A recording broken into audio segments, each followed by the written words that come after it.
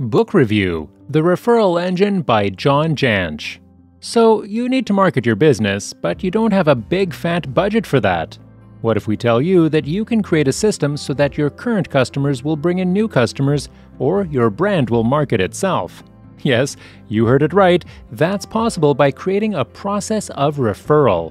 In today's video, we are going to be reviewing The Referral Engine by John Jantsch which is an ultimate guide to marketing a business through referrals. The book has 13 chapters in total. Here, we're going to be discussing the key points that are the essence of this book. But before you learn key points that are the essence of this book, pay attention to the big red subscription button. As soon as you click it, you will be taken to the wealthy side, the life you deserve, where you'll find hundreds of videos. These videos contain the answers to almost any question you may have, there are also daily updates, so if you want to stay tuned, remember to turn on notifications. Making referrals is human nature.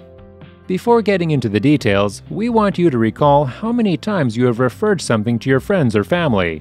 Did you do it on purpose, or were you having a random conversation about sushi and all of a sudden you heard yourself talking about your favorite sushi place?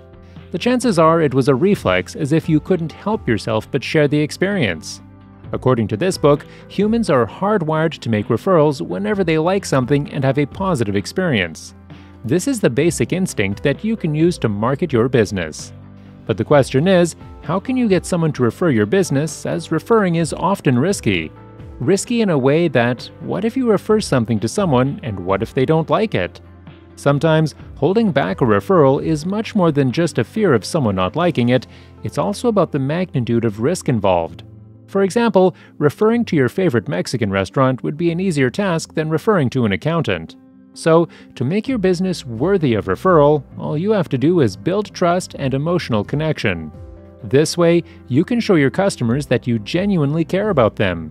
But to get referrals, you will have to create a system first. The next key points highlight the strategies that you can use to make your business referral worthy, build trust, and reduce risk. Stand out. Let's be honest, there are hundreds of other businesses doing the same things as you are doing. Why should customers prefer you? What makes you special? The answer is simple. Customers will only prefer you over others if you stand out. Showing them you are the best at what you do is not enough. You have to provide your customers with something unique that can define your brand. You have to give them a reason to talk about your brand. Give your brand an authentic purpose. People love brands that are based on purpose. John Jantsch has given several examples of such exceptional businesses which stand out among others, although our favorite one is Tom's Shoes. The brand donates a pair of shoes for every pair that it sells, which makes it stand out among many other brands that sell shoes. In my view, this brand is a great example of a business with purpose. You can take inspiration from such businesses, you are just one Google search away from finding hundreds of such brands. Figure out your ideal customers. After you have determined how to stand out, the next big thing is figuring out your ideal customers. You might have heard of the quotation, one shoe does not fit all. The same saying goes for business. You cannot be everyone's first choice when they make referrals. So, the next thing you have to do is figure out your ideal customers. Give your brand a story that resonates with your ideal customers and make it sound authentic, revealing, and relevant to their needs. That way, you can connect with them on an emotional level. Speaking of a brand with a story, we came across this brand on social media, which stuck with us even though we were not their ideal customer, and it's all because of the brand story. We will quickly tell you before moving on. So, a young woman started losing hair during the pandemic due to increased stress. And things got worse, and she was getting bald. Medications were not working for her, so she decided to take the matter into her own hands and formulated a blend. Basically, a hair oil that worked miraculously, and she got her hair back within a year. The most amazing part was that she documented the entire journey to back up her claims. Eventually, the brand became a huge success within one year. Enjoying till now? Please hit the subscribe button now like, share, and comment. And yes, keep watching. Plan the content. So, once you have figured out your target audience and discovered ways to make your business stand out, it's time for you to use the power of social media and connect with your customers through your content. For this, you will need to identify the triggers of your ideal customers that will make them talk about you. You will need to make an educational white paper for this purpose. That white paper should have a catchy title, a summary, memorable stories from ideal customers, visual content to back up your claims, and a call to action as a piece of advice. Now that you have a white paper, it is time to convert it into different formats, such as ebooks, webinars, seminars, presentations, short videos, etc.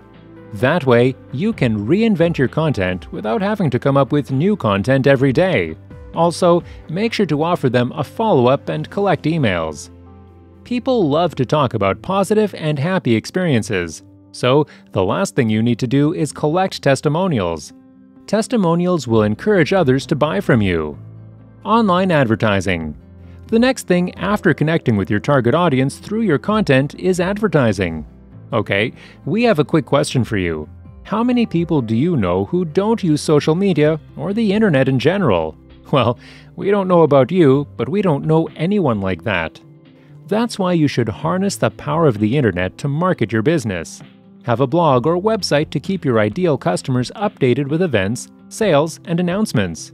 John Jantsch also listed a few daily, weekly, monthly, and annual tasks to engage your target audience. Also, you should have an existence across various social media sites to connect with your customers. Your next goal should be press coverage from reputable and trustworthy sources. Now, you might be thinking, but how do I get them to notice me? That's where your social media presence comes into play. You have to simply follow the relevant journalists, read whatever they publish, and connect with them through engaging with their content. Finally, begin to pass your content to them. That way, you can get them to notice you without forcing them. Build a partner network. After you are done advertising, most of the work in convincing your customers to refer you is done here. The next thing is increasing the scope of referrals. Think about it. How many referrals can your ideal customer make? Four? Five? Eight? Thus, to increase the scope of your referrals, you need to partner up with businesses selling a non competing product but sharing a similar ideal customer profile. Don't be confused, we will give you a quick example. For instance, there are high chances that a business that sells workout mats has similar customers to the business which sells workout sets for women. If these two businesses collaborate, the number of potential referrals will increase, which will eventually increase the number of customers. You get the point. As John Jantsch stated himself, a happy customer might know three or four ideal referrals, but a large indirect network partner may have the trust of several hundred. So, develop a mutually trustworthy relationship with such businesses and find suitable ways to pair up your services and products. You can invite them as guest bloggers or even come up with an entirely new product or service through co branding. Create a plan for receiving referrals. When you are done with creating a system for getting referrals, it's finally time to receive them. For receiving referrals, you'll have to come up with a plan or strategy you have to make sure that your request for referral sounds like a benefit for them rather than you asking for help. First thing first, recognize the window of time. The best time to ask for a referral is when your customer tells you that they are happy with your product or service. The next thing you will have to do is thank them publicly and make them feel appreciated. You can make them feel appreciated by giving them any kind of bonus, be it a gift, a sample of a newly launched product, or even chocolates. The goal here is to build a strong connection with them and reward them for their referral. You must be thinking, this is it, but your work is not done yet. Make sure to follow up with new customers who came through a referral. If the new customers are not ready to buy yet, give them some time to know you better. Give them new information, reports, or discount to build a connection. John Jantsch has quoted an example in this book, and we love this idea. It's about Omaha Steak's plan to receive a referral. What they did was encourage their customers to bring friends to try. For every two friends who tried Omaha Steaks, they gave $20 reward on their next purchase of $80 or more. Isn't it clever but persuading at the same time? Final advice from the author. At the end of the book, John Jantsch gives some final advice, and we think you all need to hear that. He said that creating a referral worthy business is not a quick process. If you are willing to create an exceptional business, you will have to go above and beyond and rethink everything you do. In other words, you will have to reinvent your brand, create a new foundation, and come up with new strategies. It will surely lead you to do your business in a better way. So, don't give up too early, as there is no shortcut to taking your business to the next level. John Jantsch has also given the number of ideas used by businesses for creating a referral process. He also discussed a few specific businesses and ideas that they can use to make their business worthy of referrals. The book was full of information, and we tried our best to pack all the essential elements of the referral process into this short video. Did you enjoy the video? Please hit the subscribe button, like, share, and comment.